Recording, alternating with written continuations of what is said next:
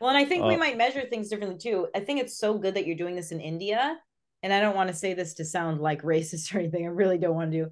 But like Indian men need help because even when I went there years ago in 2017, it's just the energy is like it's just not good, right? Like it's a different culture, it's a different like it's it's almost desperation, right? hmm. So the fact that you are like empowering men to like really maybe understand themselves or you know how to do things differently. Obviously, I haven't been back. It's 2023, um, but that was like my experience, and and um, so the fact that you're helping is really really good. Um, what did you experience over here that that's making you say this? And you can be open. Like, please, like, be as politically incorrect as you can be.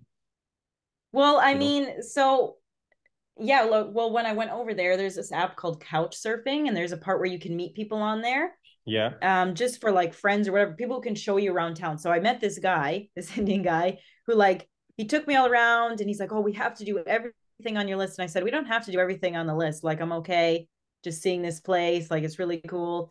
But he did all that stuff, and then he got up. Like, then he wanted to set up all these other trips with me, and I was like, I had just gotten there, and I was like, "Hey, I don't really want to do that." and he kept messaging me and messaging me and messaging me um, where I blocked him. And then he put this bad review about me on the app. And I was like, what is going on right now? You know what I mean? So it, you know, like doing everything when it's not necessary and then getting mad at that person because maybe you wanted something in exchange, right? Like that is the energy that I got from that. I also stayed with an Indian man who was super nice, right? So it's not, it's not all Indian men, but this is also like because in the DMs, there's you know the stereotype that like Indian men are like let me see bobs, right? Like it's that that's Yeah. what it is. Like the Indian men in your DMs, like that is a thing. Yeah. But but you know that is that's 100% true in so many ways that I completely understand how uncomfortable an experience of especially a white woman can be over here or rather a foreigner Mhm. um but you know there's there's there's just too many sides to that one is the portrayal via western media of how white women are Right. you know Right. sexually way more relaxed and stuff like that number one number two like most of the porn industries like you know white girls for example what they're seeing over here um and like this it just goes on and on. Because you Right. see but but i mean fuck it. Fuck the factors which made this happen.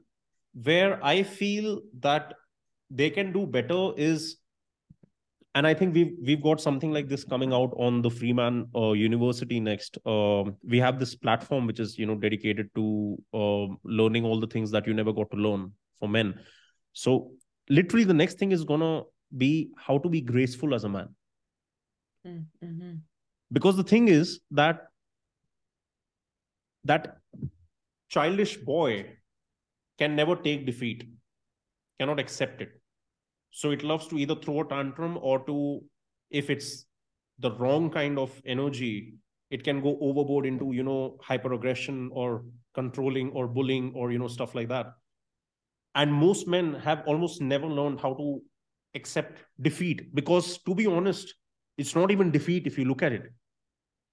You know for example i, I can straight away understand the entire energetic dynamic that could have taken place between you and that man who did so much for you because he thought the more i'm going to do the more guaranteed you know my chance of having something sexual with her is guaranteed.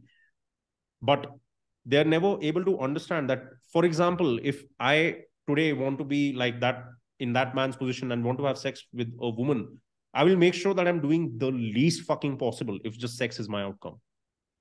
You know because there are women who will straight away fall head over heels for a guy who will give no two shits about the girl. All right. So first of all they have no understanding of the attraction dynamics. But that doesn't matter. What matters is just the way they are feeding off their requirement to sexually mate they need to understand that the woman also has her own requirements and in a lot of instances actually like most of the rejection in the world is done by women right so most of the times you are not meeting those requirements so you're not eligible mm-hmm. now that doesn't mean that you go on the spree of fucking writing reviews or whatever it is but because that is you not being happy with yourself because you still mm-hmm. kept on going and trying harder and spent more money and invested more time on a woman who from the first day itself was never going to sleep with you. So they did not have grace in terms of their conduct right. behaviorally you know? And i feel that like just fucking look at the times we have come to. Now we need to you know look at men learning grace and we need to look at women learning you know things which could be from the other side.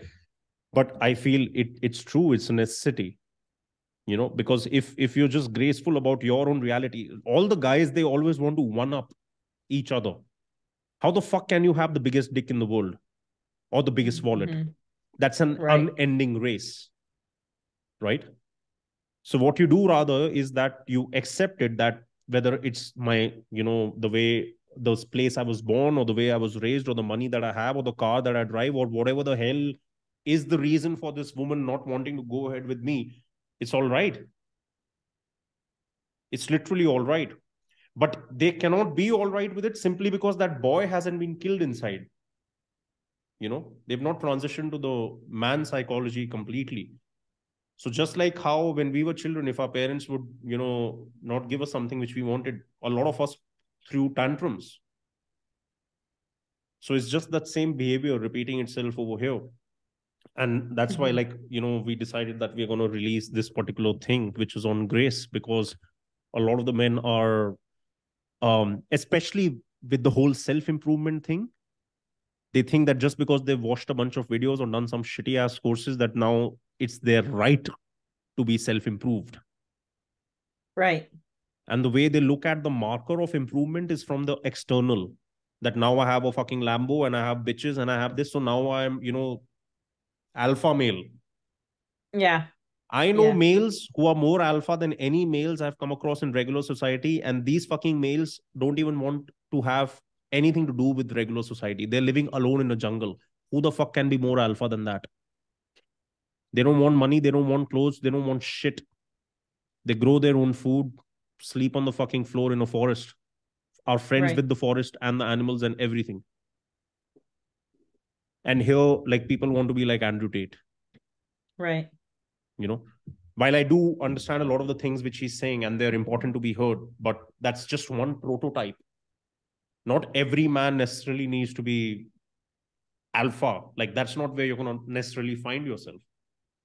Right. Right. So, That's what I say also. Yeah.